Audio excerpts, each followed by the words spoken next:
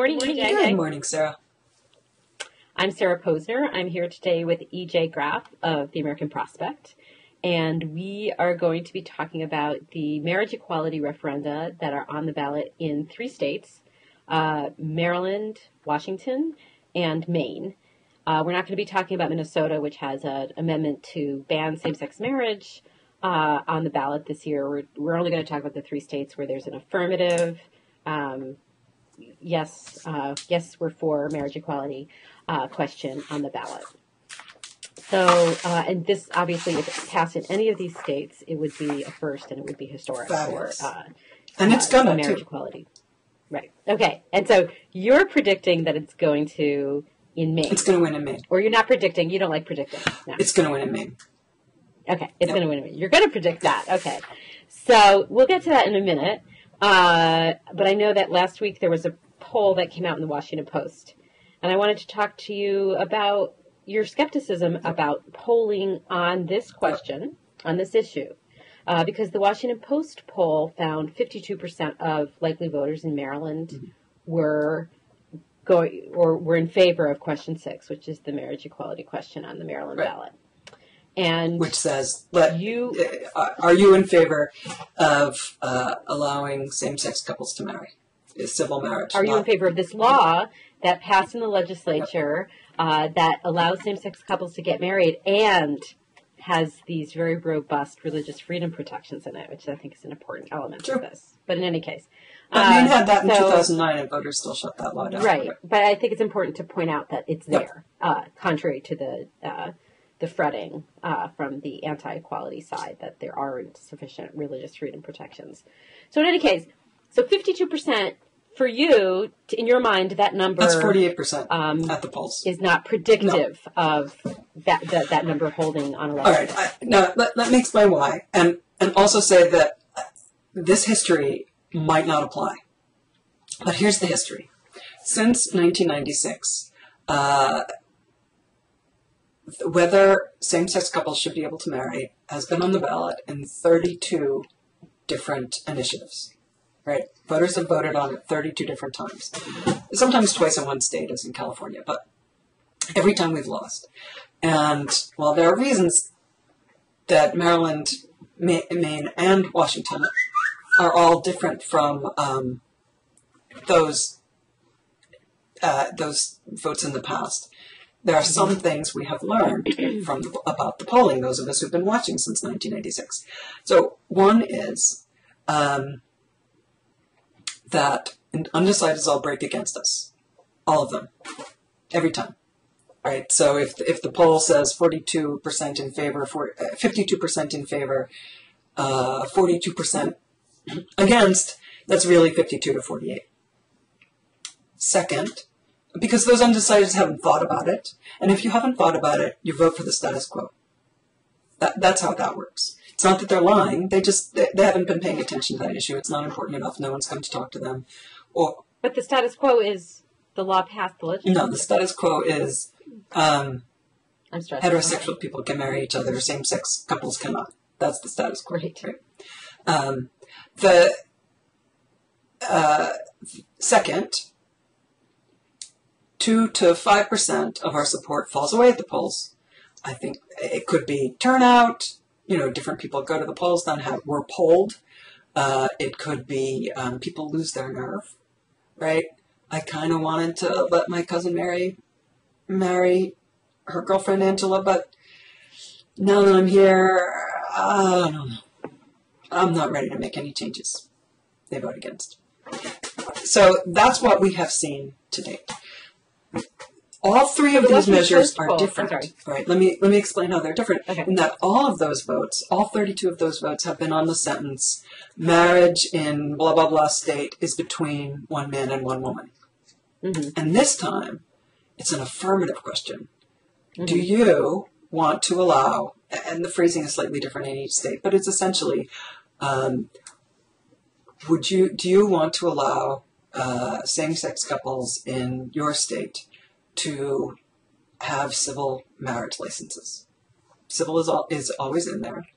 And it's a, are you in favor of happiness question? right? So that may change some of the polling. That's why I don't want to predict Maryland, but I still have that skepticism.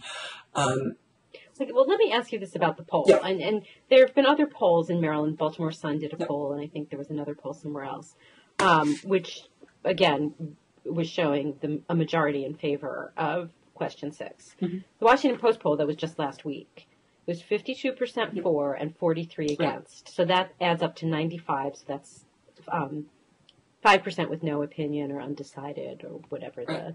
whatever the 5% is. And so you're saying that historically that 5%, that 5% that doesn't fall in the yes or Right. no, breaks for no. Correct. So if that happened, that would get the no up, according to that poll, to 48, and it would still be 52 to Right, but we lose two to four percent, right, of the people who say they're going to vote in favor of. Well, see, that's that's what's different. Like in the past, it hasn't been a vote in favor of.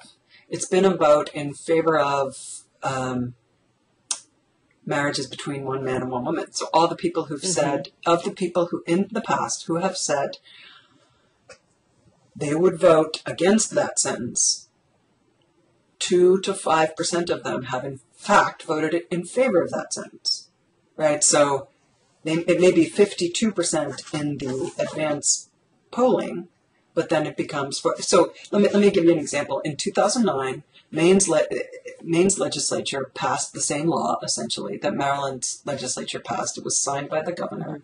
Um, they had the six-month campaign, you know, just as you are in Maryland or whatever, eight months. And a, about a month before uh, they went to the ballot, 53% of Maine voter likely voters polled said they would vote to uphold that law, and 47, no, less than 47 said they would vote against. But in fact, um, only 47% voted to uphold the law. It went down. Was 53% to knock down that law and maintain um, one man, one woman as marriage. It was. It remained the same percentage that it was six months before. The polling that the Maine forces had, Maine equality forces had, was that 50, 47% were on our side, were on the equality side um, when the question was put on the ballot. And that's exactly the number that they ended up with at the end, right? Even though over the course of the Correct. campaign, that number spiked a little Right. bit, according to Right. polling. Okay. So what? so, so what the, so the good news for you is that speaking, but also Maryland okay. knows this, right? The Maryland Equality Forces know this. They're working with the same people um, who've been working on the issue over the past 15 years, right? Mhm. They know what the polling means. They, they know it's very dicey. They know it's turnout, turnout, turnout, turnout. So they're, they're working, they're, they're working, you know, they're, they're aware of it. And, and this is what I think is more likely to happen than you winning in this election. And if you lose, they are not, they're not going to stop the campaign. They're going to keep working the day after for the next couple of years until they get the polling up in advance of the campaign. And then they're going to pop the question again. And that's why I'm happy about Maine. That's what Maine did. Right. Okay, so you're saying that because my the question in my mind is, well, what happened between 2009 and 2012 in Maine that makes you optimistic that there's going to be a different outcome this time on the door to door. People only change their minds on um, something like marriage if they have really talked it through with somebody about why this is so personal, why, why this matters, who cares. Most people are not like you and me, Sarah. They're not political junkies. They're not thinking about political issues affecting other people day in and day out. We're, we're pretty rare, right? And everyone watching this video is pretty rare. Uh, We're, we're really the unusual junkie. Most people are getting their kids to soccer and trying to get dinner on the table and racing to and from work or going to the unemployment line, whatever it is they're doing. They're, they're busy with their own lives. And uh, some of these questions they only look at, I mean, some of them I only look at before they go to the ballot. They don't do any other education. They're like, yes, no, no why, why would I bother with that? It, it doesn't matter to me. I'm I'm not ready to make any changes in the world right now today. Uh, you know, I have to go get the groceries. So, what the Maine campaign did, they did not stop. The very next day after they lost, they kept doing their door to door, their voter discussions, their education campaigns in the um, local Rotary clubs or Unitarian churches or whatever they were, and they moved the needle. They did not go back to the. They decided not to go back to the. They they they they did it on their own timeline. This is how they put it. Last winter, they sat down with their coalition partners, their national strategists, and said, "Okay, here's our internal polling now. We have we are starting with 55% of Maine voters, likely voters, saying they are on our side." We all and that was a result of a basically three-year campaign Correct. to change people's door-to-door campaign. they talked to. They told me um, seventy. They had seventy thousand conversations. I think that was the number. Um, and they only lost by 30,000 votes. I mean, 53% sounds large, but it, Maine is not that enormous a state, and it was an off-year Right, election, right. you know, all of that. So um, they, they had kept up the, the education campaign, and the opponents of marriage equality went home. Right? This is our lot. These are our lives. People feel very personal about the ability to get married for themselves, or sometimes for their siblings or cousins or aunts, but these are our lives. A lot of people are willing to have whatever hundreds of conversations with other people about why we're human beings who love and want to get married. Whereas the um, National Organization for Marriage or the um, Roman Catholic Church have other things to think about. I mean, the National The National Organization for Marriage has other things to think They have about. other states to think Seems to about, me right? that that's all they think Yeah, about. but they have ca- right? they don't have Maine to think about all the time, right? Whereas Maine people do. The people who live in Maine went ahead and went door to door and talked to people and kept lists. Uh, they- It's a mass education campaign. That's what it is. They also have the most spectacular ads during that time. They came up with um, local families. It- It's just heartwarming, really. These, you know, and these are ads that they put on local television. yeah, their, their TV ads are spectacular. They're these multi generational Maine families with deep Maine accents that I can't do because my wife is from Maine, and if I tried to do it, she would make fun of me all night. Um, I can't do a Maine accent, but y y it's really worth going to their website and taking a look because they're so moving. Some of them saying, you know, oh God, I'm going to try and do it, and I'm going to sound ridiculous, but some octogenarian saying, you know, we really believe in family, and I really want my granddaughter Sarah to be able to get married. You know, her hmm partner Jenny is just part of the family, and I really want that to be official.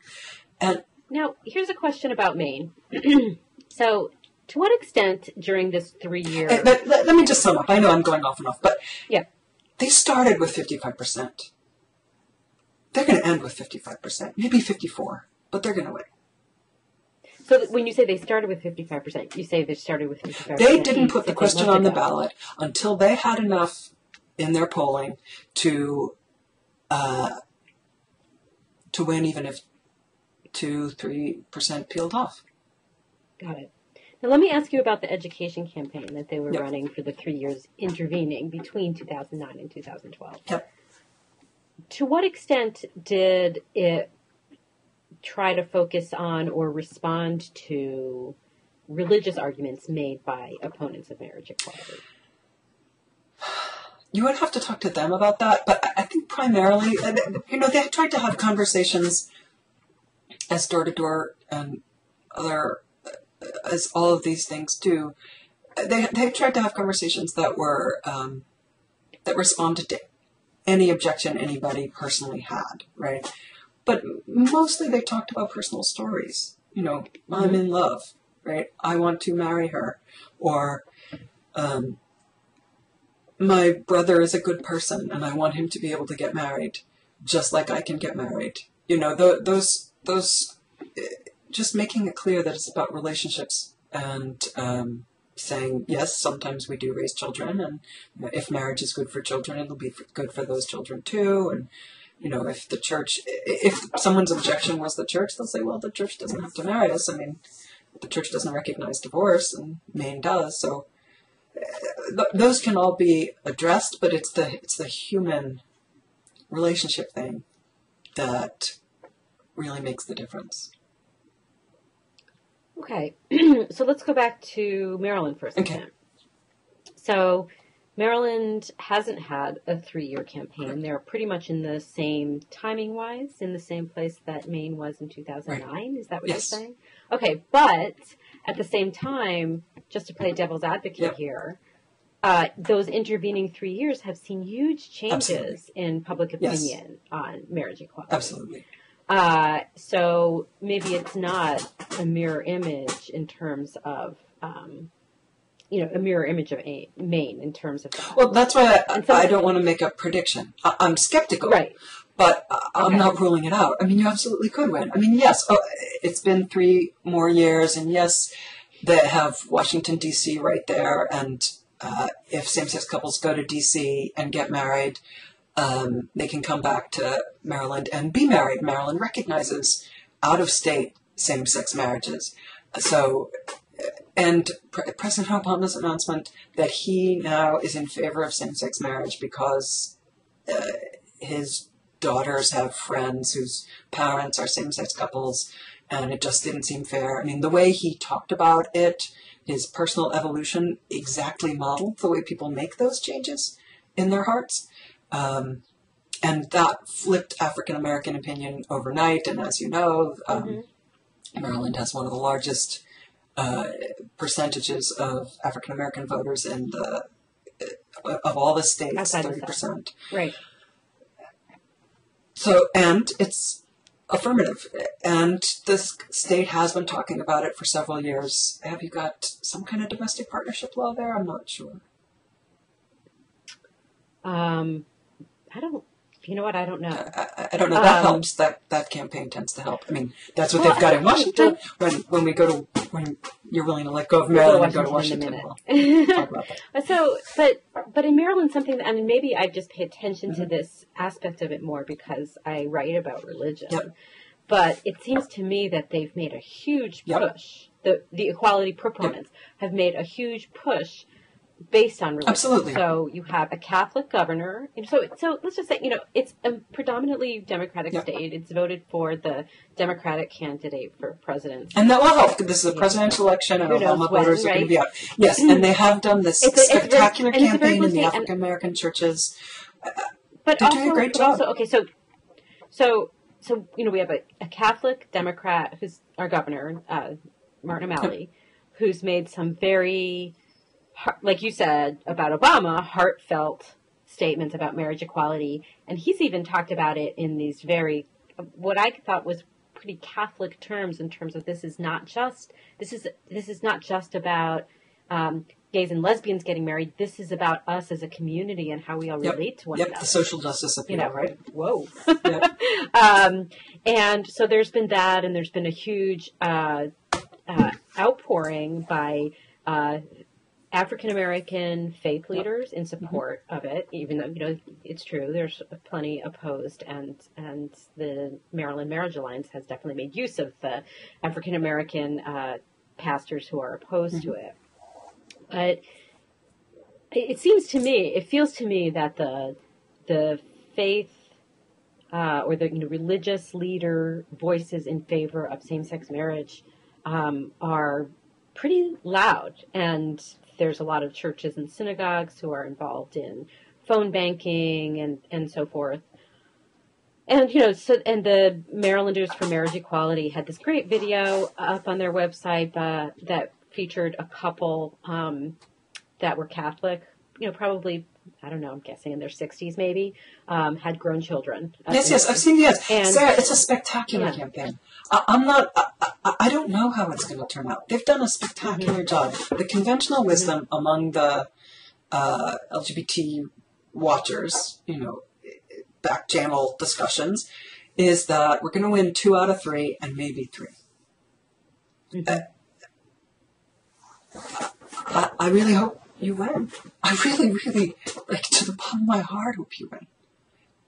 They've they've run a great campaign, but if you don't, it'll continue, and you'll win in two or three years. Well, the other the other piece of it that I think is new also, and I think you know, apart from this video, you and I have talked about this, um, and that is the support of uh, Baltimore Ravens linebacker That's pretty Brendon great. Ayanbadejo. Yeah, Okay, so Has been yes, pretty great, It's right? totally great. He's adorable. I want to adopt him. Yeah. absolutely. I know. I saw the I saw the video of him, and I was like, oh my god, we can adopt him, honey, if he needs another grandmother or mother, whatever. Uh, you know, and and the the really, and I think that I, I tweeted this video at Yeah, you did. Not It was only great. has he Thank been you. has he been just generally himself outspoken about it and doing fundraisers, like he did a Monday Night Football fundraiser with Governor O'Malley, um, where you know they met in a bar in Baltimore, and you know the. Yeah. The Monday night football game was on, and you know people came and played. He and go- the governor played foosball, and that became sort of the iconic image of that evening. Um, but the NFL itself I know, that's really this, cool. I think web-based really cool, show. Um, I think it's only web-based. It's called NFL Season Biography, and I guess each week or something. I I, I don't even follow football. Like I I had, I had. I didn't even know. I don't even know what the linebacker does. So when I say so you- confidently you know, you've that he's a linebacker, linebacker for the. Baltimore Ravens, I have no idea what I'm saying. But anyway, I'm a bad listener. um, I won't even stay in the room when football's on. You know, they have So, um, football parties. I'm like, bye, baby. I'm going to the museum. So I, I know nothing. okay. So in any case, um, But yes, he was very cute. It's adorable. So- but- so they- I, am not saying and- you're and going to lose. NFL, so- I'm not the person to convince. no, I know, but I just thought that this was kind of an amazing. Totally amazing. change and i wonder you know I, I don't know if it's measurable how much of an impact that say a foot, an nfl player versus a pastor has on influencing somebody's opinion Well, I think I. But think the felt thing like that they his find is that it's person to person conversation. yeah hmm So you, they have to have the campaign to fight back the other campaign. You know, to make some public noise, um, to say it. If you're with us, it's okay. You have plenty of other people who are with you. But the actual mind changing happens person to person. Almost always. Not always. Not always. President Obama's announcement definitely uh, flipped opinion. But my, I would tend to think that it flipped opinion because those people had already had those conversations with someone in their family or some someone at work or someone on their street. right they just needed another They needed some a major black figure to say it's okay. We do feel this way. Mhm. Your your anti-gay pastor isn't the only uh, figure you've got standing up in front of you. So all, all of those things matter. They make it okay to be on the side of marriage equality. We'll see if it's dispositive. I, I Mhm. really hope it is. I, I'm just telling you what the history is. right you know and the other the other factor And then I at guess- some point we can move on to Washington. Yeah. Okay. One more thing to say about Maryland, and then we'll go to Washington. So the the religious demographics of Maryland are not very much like very many other states. Okay. Like you said, there's a larger um, African American population. There's also a smaller uh, Catholic population than there is in, on average in other states, and there's a smaller white evangelical population on average than there is in other states. Right. So it's in that sense when you're just looking at the numbers and who the different religious uh, demographics Mhm. are, it is um, it is not it's it's an atypical state in that Well, regard. every state is atypical. I mean, there's no average state, right? It averages out all our different atypias. Yeah, but there are states that have sort of an average number of Catholics and evangelicals compared to the national Okay. average, and so um, and Maryland isn't one of them. um, like a state like Ohio or Pennsylvania is more like that. Right. So. Um, anyway, so we'll we'll see what happens. It's two more two weeks from today. Um, Absolutely. if you have any time to volunteer, this. go do it. So yeah, I mean, I think you and I can't because we're journalists, but Right, right. Um, but I, I actually think this is sort of interesting. I mean, I live in a very uh, liberal pocket of Montgomery County, and um, you know, it's not getting talked about very much. Um, I'm not at all surprised. and- And that's part of what's But against us, right? Is Yeah. I mean, you're talking about all the public attention that it has gotten, but most people aren't thinking about it. Just by far, most Right. people aren't thinking or Right. talking about it. In in your liberal pocket of Montgomery County, I assume that people think, of course, we're all going to vote for it. What they're focused on is Obama, right? Um, yeah, I mean, I think that. I think that it's more that it's not that they're not focused on it being on the ballot. I think that I think for some people they can't. It's hard to imagine that it would fail, Yes, um, just because of the people that they right, know. exactly. They, they have their Uh, own reference group, and yeah, they assume it's yeah, and that's kind of their of reference point. And I think that they think of our of our state as being a liberal place, and it is compared to Virginia. by and large, you know, it is. But um, yeah, and th- there are other things that are on the ballot uh, too. We haven't we have a bunch of referenda questions. I mean, obviously, this is question six, so there are at least six. The one that has actually gotten far more attention in terms of advertising time and, and discussion is uh, a casino gambling question, uh, which has kind of, in my mind, gotten in the way in a sense because it's got because it has gotten so much attention and is very controversial. Um, so, you know, but what are you going to do? I mean, that's just the democratic process. There's different things on the ballot. Um, so let's talk about Washington. Yes. So tell us. So uh, was the um, pr- process a, a a similar process in terms of was a, was something passed by the state legislature Yes, and now the- it's on the um, this is a more uh, intermediate one. I think uh, I don't just think, but uh, you know, there is one more thing I'm going to say about Maryland, and that's that it hasn't raised enough money. Unlike uh, Maine and Washington, um, Okay, well, explain that to people because I think that you know. So uh, a couple weeks ago was their uh, a big political groups filing deadline for their campaign finance disclosures, and the Marylanders for Marriage Equality, which is obviously the pro pro equality group, had raised three point two right, million and I think that something. the, like- their target budget was eight million. I mean, in order to have enough ads and paid campaign okay. people, whereas right, but- uh, but the other campaigns are hitting their targets. Okay, so HRC has so been running the raised campaign and hasn't put the focus on the money raising that the other states have. so so they raised 3.2 million but the um, uh, maryland marriage alliance which is opposed to question six raised under a million and so i think that to a lot of people if you if you don't know that sort of insidery stuff that you Right. know about how much money it takes i think for a lot of people they would look at that and say they raised more than three times as much money as the other But side the burden, so when bur- is the- that not in, good in enough same-sex marriage? The burden is on the side that wants change. We, we have a we have the bigger burden. And so if they had raised closer to eight million dollars I, I, I don't know if five million dollars is what's going to make the difference or not make the difference. They've run a Mhm. wonderful campaign with what they've got. We'll see. But that would have just been uh, spent on more television. Some television and some um, paid local organizing. You know, uh, the uh, IDing voters, uh, getting to the, them to the polls, having more of those person-to-person conversations, working with the friendly Mhm. churches. You know, all the things that that you do. Yeah. I mean, TV ads are important, but they're not the the only or most important thing. Right. And we've been blitzed with political ads this cycle because we get the Virginia market ads for the presidential campaign.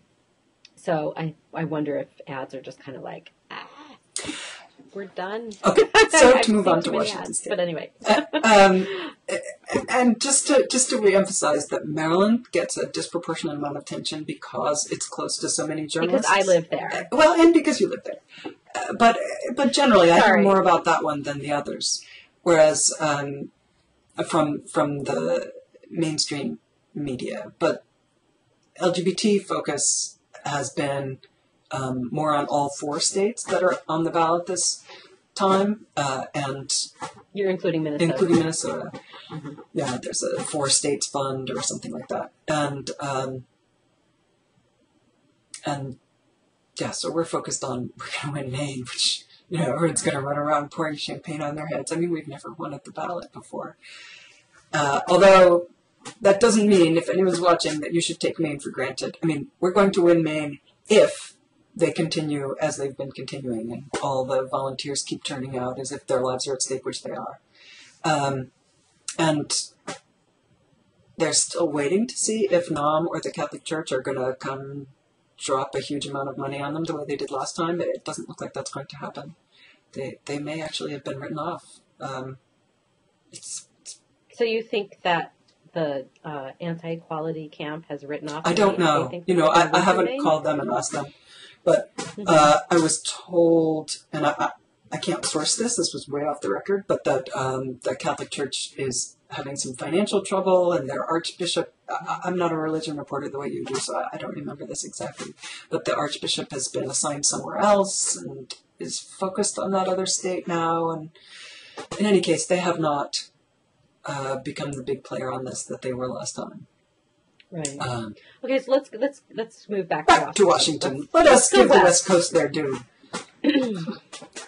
So what's happening there? There. Um, so is So- this the first time it's been on the ballot in Washington? State? This this one is more like Maryland in that um, it uh, the legislature passed and the governor signed a marriage equality bill, and opponents immediately put it on the ballot.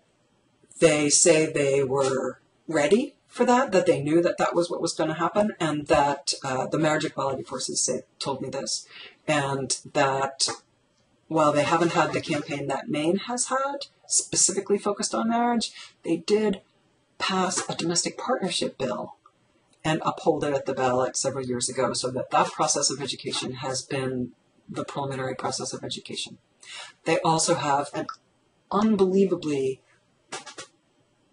like slam dunk business lobby, right? Every every important employer, well maybe not Boeing, but a lot of important employers in the state of Washington have come out for it uh, who haven't weighed in on anything else. REI, Nordstrom, Amazon, Bezos dropped in some absurd amount of money. I, I- think it was in the millions. I think he put in 2.5 million. I'm not, I, I would have to check my notes, but it, just made my mind go, whoa, who has enough money to drop that? But uh, they've, they've gotten support from Bloomberg. I mean, so has Maryland Mhm. they've so they essentially had the campaign. They're a referendum state, and they've had to fight back bad um, referenda in the past. Not as much as Oregon, but we do have to talk about Oregon before we get off. Um, but they say they are more ready to go to the ballot. Their polling is in between. They're at about 54%. I haven't actually seen their um, internal numbers or uh, gotten the exact numbers uh, from before the campaign started, but they think they're they think they're going to win, but they could still lose. I mean, fifty four percent isn't as sure isn't as sure as they've what they've got. And what were the undecided percentages there? Um, where oh, I forget notes. Let's see, what have we got? Fifty four percent support. Uh, yeah, I don't have that. I don't have that in front of me. I'm sorry. That's okay. I was just curious. Oh wait, Um, it said uh, 54 to 38. So oh, that well, that seems rather uh, substantial. 54. No, that's that's Yeah. 54 to 46. And remember, we lose two to four percent, two to 5%. so there aren't any undecideds there. There's a lot of undecideds. Well, I was adding 54 and 46 together to get 100. 54 to 38. Okay. Right? so Yeah. in reality, it's 54 to 46, and oh, I gotcha. Okay. you you lose two to five percent on voting day. But they're they're feeling good about it. They said that the demographics there are they are a very secular state. Um, most, by far, the vast majority of the population lives in Kings County, which is Seattle and environs. Uh, the eastern part of the state is more like Idaho, but it's not very populated. Um, so they're feeling they're, they're feeling pretty, you know, not certain but strong. So, I'm glad you brought up the a huge segment of the state being secular, um, Yes. because I was at a discussion yesterday of a, a new poll that's out by the Public Religion Research Institute on the increase in the number of unaffiliated religious Yes. and unaffiliated Americans, which kind of mirrors a recent Pew poll which found a rise in the number of um, unaffiliated Americans and the the loss, net loss, of adherence to Roman Catholicism and mainline Protestantism, and. Um, you know, obviously, there's also been a lot of discussion of who the unaffiliateds are. They're sometimes referred to as the nones, N O N E S. Mm-hmm uh, because they're not just one monolithic group. They include atheists, agnostics, mm-hmm. and then people who say that they're religious but not spiritual but not um, religious. Spiritual, not religious, but also people who say they're religious but not don't affiliate with any particular mm-hmm. organized religion. Um, yet, I think that in both both polls showed that the uh, as you get younger, the segment of the unaffiliated who do identify as atheist or secular or agnostic gets bigger and bigger and bigger. So not only do you have a bigger segment of unaffiliated as you go down in age, but you have a larger segment of the unaffiliated being atheists. Okay. And of course, atheists are a group that overwhelmingly favors same sex marriage. And then if you lump together all religious demographics in the 18 to 25 or 18 to 29 year olds, they're in favor of same sex marriage. So, like, obviously, like, over time, we're sort of going to get to the point where the people who are against it, or the, the majorities of people who are against it, are going to shuffle off the historical stage. Right. Exit stage left. Putting it. So, you know, at, at what point do you think that the demographics are just going to be such that this is a no brainer and, and we're done? 10 to 15 years. I mean, it, it's better every year. It's just been an astonishingly fast change over my lifetime. You've heard me say this many times, but Sarah, I know it's. But if someone had asked you ten years ago, inconceivable how fast opinion if we moved. would be where we are now, you wouldn't have. You would if someone had ten years ago given you a little, you know, time. Oh no, ten years ago I would have believed this. No, but it's more like this. Okay. I mean, I'm an old lady, right? It's like when I came out uh, in the 1970s, late 1970s. Let me point out. That was a long time ago. 1970s. It, it, was so beyond possibility. Uh, you know, I was, uh, I was just. Uh, I mean. So you never thought it would happen in your lifetime? It, it, it never occurred to me to want it. Same-sex marriage. Until the 90s. That's what I mean, beyond inconceivable.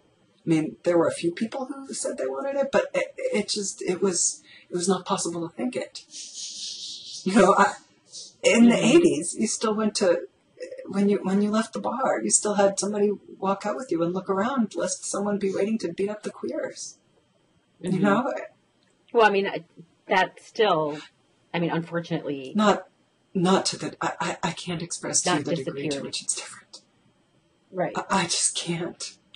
But we haven't vanquished that, is what It's not vanquished, but it's not. The police generally are on your side now. Right. You know, I mean, let me tell a little tiny story about Maine. In in um, the 1980s, there were a couple of. Um, uh, this is almost painful to talk about, really. There were a couple of uh, situations that happened um, in the United States that absolutely broke uh, lesbian and gay hearts across the country. Um, one was in Wisconsin. Was Wisconsin or Minnesota? I'm pretty sure it was Wisconsin. Um, Karen Thompson and Sharon Kowalski, a pair of gym teachers of all things. Uh, one of them was in a car accident and uh, they'd been together 10 years. And the Sharon Kowalski's family would not let um, Karen Thompson see Sharon for years. They locked her up in a nursing home, and Karen fought for years to get access to right, her care and help her bring her home. That was, uh, you know, the cause, one of the cause celebs. Uh, the other was uh, Charlie Howard, a man in Bangor, Maine, was uh, thrown over a bridge by three high school kids. Uh, he died, thrown off a, a bridge into the water he had asthma and he died. It was shallow, but still fatal. And uh, the town rallied around the kids. Um, they did uh, go to juvie. Uh, they were out in a couple of years. It, it was heartbreaking. And when um, I, I had a book by one of those kids called Penitence, uh, he he turned his life around, and part of his you know making amends, which you can't really, but whatever, getting right with the world or himself, uh, was writing this book with someone about essentially how sorry he was and how his mind had changed. And he went on a small speaking tour and talked to kids around Maine. But when I uh, started dating my now wife, um, she saw that book on my shelf and turned white. I mean, she's a white person, but I'm not, you know, that was like gray white. Turns out she had sat behind the ringleader of the killers in high school. She was out in high school. And that kid sat right in front of her in history class. So uh, that's deeply scarring. Mm-hmm. Just to a degree I can't tell you. To know that the town that you live in is cheering a queer killed. I think Maine has come so far. I think when they vote finally to allow their daughters and friends and neighbors to marry, I, I think it can. I think it could really change a lot of people, like my wife. I don't want to use the word heal; it's mm. too corny, but Right, right. I think it'll make a huge. That'll be the amends. Sorry, I don't know why I went off on that. No, I'm glad you did. But I also think that that's a kind of a good place to close out. Terrific. Lovely talking Thank with, you. with you as always. Sarah. Your your knowledge about this issue and its history is invaluable. Oh, it, it's I, I cannot. I mean, I, I say this all the time, but I can't get over it that anybody else cares now. It's that's how far we've come. You're talking to me about it. Unbelievable. All right, well, maybe we'll reconnoiter in a couple of weeks and do a post mortem. Let's do. Thanks, Sarah. Thanks, EJ. Bye. Bye.